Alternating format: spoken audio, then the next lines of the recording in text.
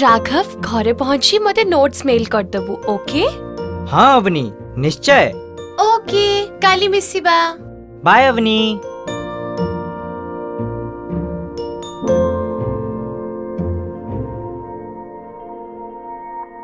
तोरो क्लास केमिति थिला क्लास भला थिला बापा बापा तुम हाथ रे कोन अछि कोन मु देखि परिबे अरे ये गोटे पैम्फलेट अबनी ये ने देख ये स्त्री लोग को कितने सुंदर दिखा देखा जाउची जणा नाही इतनी सुंदर केमती हेला हम्म मते बोधे नंबर रे कॉल करिबा को हेबो मु मध्य गोरा और सुंदर देखा जेबा को चाहुची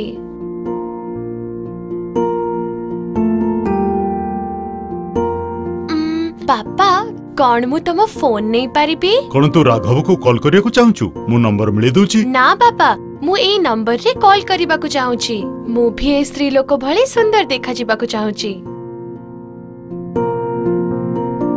ଭାବନି ଏହା କେବଳ ଗୋଟିଏ ବିଜ୍ଞାପନ ଅଟେ ପ୍ରାୟତଃ ବିଜ୍ଞାପନ ଲୋକମାନଙ୍କୁ ବୋକା ବନେଇବା ପାଇଁ ମିଛ ପ୍ରଚାର କରିଥାନ୍ତି ଆଉ ଲୋକମାନଙ୍କୁ ଏ ବିଶ୍ୱାସ ଦିଆଇଥାନ୍ତି ଯେ ଅଳ୍ପ ସମୟ ମଧ୍ୟରେ ସେମାନଙ୍କ ବାସ୍ତବିକ ରୂପ ବଦଳିଯିବ ହଁ ମୁଁ ବି ସେଇଆ କହୁଛି କିଛି ଦିନ ପୂର୍ବରୁ ଆମ ପଡ଼ୋଶୀର ପୁଅ ସୋସିଆଲ ମିଡିଆରେ ଗୋଟିଏ କୌଣସି ପ୍ରୋଟିନ୍ ଡ୍ରିଙ୍କ୍ ପିଇଲେ ଉଚ୍ଚତା ବଢ଼ିଯିବାର ବିଜ୍ଞାପନଟିଏ ଦେଖିଲା ତାଙ୍କ ଘର ଲୋକେ ବହୁତ ପଇସା ଖର୍ଚ୍ଚ କରି କିଣିଲେ କିନ୍ତୁ ଉଚ୍ଚତା ତ ତୁମର ଜିନ୍ସ ଏବଂ ହର୍ମୋନ ଉପରେ ନିର୍ଭର କରେ ପ୍ରୋଟିନ୍ ଡ୍ରିଙ୍କ୍ ଉଚ୍ଚତା ବଢ଼ିବା ପାଇଁ କିଛି ବି କରିନଥାଏ ଏହି ବ୍ରୋସର ଏବଂ ପାମ୍ପଲେଟ୍ ଅନେକ ସମୟରେ ଆକର୍ଷକ ପ୍ରସ୍ତାବ ଦେଇଥାନ୍ତି କିନ୍ତୁ ଆମେ ସେଗୁଡ଼ିକୁ ବିଶ୍ୱାସ କରିବା ପୂର୍ବରୁ ସେଗୁଡ଼ିକରେ ଦିଆଯାଇଥିବା ସୂଚନାର ପ୍ରାମାଣିକତା ନିଶ୍ଚୟ ପରୀକ୍ଷା କରିବା ଉଚିତ ଅବନି ସୌନ୍ଦର୍ଯ୍ୟ ଏହି କଥା ଉପରେ ନିର୍ଭର କରେ ଯେ କୌଣସି ବ୍ୟକ୍ତି ନିଜକୁ କିପରି ଦେଖିଥାଏ ତୁ ଯେମିତି ବି ଦେଖାଯାଉଛୁ ସୁନ୍ଦର ଦେଖାଯାଉଛୁ ଧନ୍ୟବାଦ ବାପା ଆଉ ମା ମତେ ଠିକ ଆଉ ଭୁଲ ଭିତରର ଅନ୍ତରକୁ ବୁଝେଇ ଦେଲ ମୁଁ ଏହା ମୋ ସାଙ୍ଗମାନଙ୍କ ସହିତ ସେୟାର କରିବି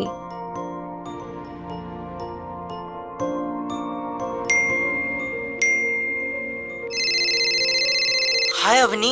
રાઘવ કોણ સબુ ઠીક અછે તું પણ ચિંતિત લાગુଛୁ ମୁଁ ସୋସିଆଲ ମିଡିଆ ଚେକ୍ କରୁଥିଲି ଯୋଉଠି ମୁଁ ଗୋଟେ ଘଡ଼ିର ବିଜ୍ଞାପନ ଦେଖୁଥିଲି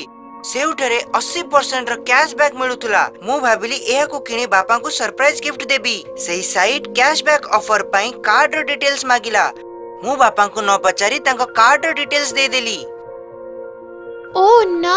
ପୁଣି କଣ ହେଲା ଯେମିତି ମୁଁ ଡିଟେଲ୍ସ ଭରିଲି ପେଜ ରିଲୋଡ ହେବାକୁ ଲାଗିଲା ଆଉ ସନ୍ଦେଶ ଆସିଲା ଅଫର ଇନଭାଲିଡ ମୁଁ ବହୁତ ଚିନ୍ତିତ ଅଛି ଯଦି ମୋ ବାପାଙ୍କର ବ୍ୟାଙ୍କ ଡିଟେଲର ଦୁରୁପଯୋଗ କରିବେ ତ ମୁଁ ଏବେ କଣ କରିବା ଉଚିତ ଏହା ବହୁତ ବିପଦଜନକ ରାଘବ ପ୍ଲିଜ ଶୀଘ୍ର ତୋ ମା ବାପାଙ୍କୁ କହ ମୋର ଆଶା ଯେ ସେ ବିଷୟରେ ଶୀଘ୍ର ଆକ୍ସନ ନେବେ ଠିକ ଅଛି ଅବନି ଥ୍ୟାଙ୍କସ୍ ବାଏ ରାଘବ କଣ ତୁ ଠିକ ଅଛୁ ତ ହଁ ମା କଣ ହେଲା ତୁ ସବୁବେଳେ ତ ଫୋନରେ ବିଜି ରହୁଛୁ ଆଉ କମ କଥାବାର୍ତ୍ତା କରୁଛୁ ମା ମୁଁ ତୁମ ସହିତ ଗୋଟେ କଥା ସେୟାର କରିବାକୁ ଚାହୁଁଛି ମୋ ଦ୍ୱାରା ଗୋଟେ ଭୁଲ ହେଇଯାଇଛି କଣ ହେଲା ରାଘବ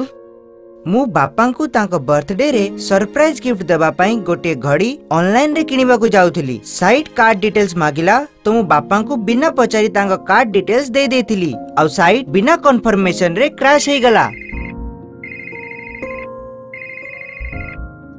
ହାଏ ସୁଧା ହଁ ମୋତେ ଏବେ ବ୍ୟାଙ୍କରୁ ପଇସା କଟିବାର ଗୋଟେ ମେସେଜ ମିଳିଲା କ'ଣ ତୁମେ କିମ୍ବା ରାଘବ ମୋ କାର୍ଡରେ କିଛି କିଣିଛ କି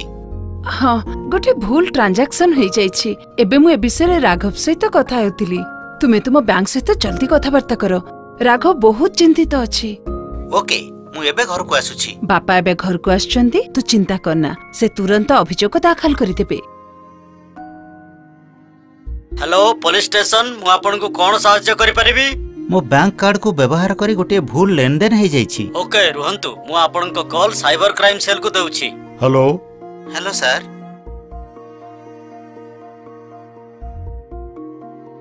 ମୁଁ ବୁଝିପାରୁଛି ସାର୍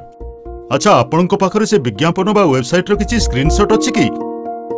ଦୟାକରି ତାକୁ ଆମ ସହିତ ସେୟାର କରନ୍ତୁ ଆଉ ଯଦି କେହି ଅନୁଚିତ ବା ଧମକ ଭରା ସନ୍ଦେଶ ବା ଭୁଲ ଅଫର ପଠାଏ ତେବେ ଆପଣ ପୋଲିସକୁ ଅଭିଯୋଗ କରିବା ପାଇଁ ଆଦୌ ସଙ୍କୋଚ କରନ୍ତୁ ନାହିଁ सर आपण को परामर्श पय धन्यवाद यह बहुत उपयोगी आदो संकोच करंतु नहि आपण चिंता करंतु नहि आमे केस रो जांच करिवु मां एवं बापा मते क्षमा कर दियंतु मु आपण को बर्थडे रे आपण को गिफ्ट देख खुशी करबा को चाहुतली ओ अरे मोर गेला पर राघव मु बुझी पारु छी बस तो आगो को सतर्क रहिबु राघव तू तर ऑनलाइन गतिविधि को चेक करबा को हेबो ଅନଲାଇନ୍ ଦୁନିଆକୁ କେବେ ବି ମାନସିକ ଏବଂ ଶାରୀରିକ ସ୍ୱାସ୍ଥ୍ୟର କ୍ଷତି ପହଞ୍ଚାଇବାକୁ ଦିଅ ନାହିଁ ହଁ ମା ମୁଁ ଅନୁଭବ କରିଛି ଯେ ଫୋନ୍ ଏବଂ ଗ୍ୟାଜେଟ୍ ଦ୍ୱାରା ଆମର ମୂଲ୍ୟବାନ ସମୟ ବହୁତ ନଷ୍ଟ ହେଇଯାଉଛି ଏବେଠାରୁ ମୁଁ ଫୋନ୍ କମ୍ ବ୍ୟବହାର କରିବି ଆଇ ପ୍ରମିସ୍ ଇଏ ଭଲ କଥା ରାଘବ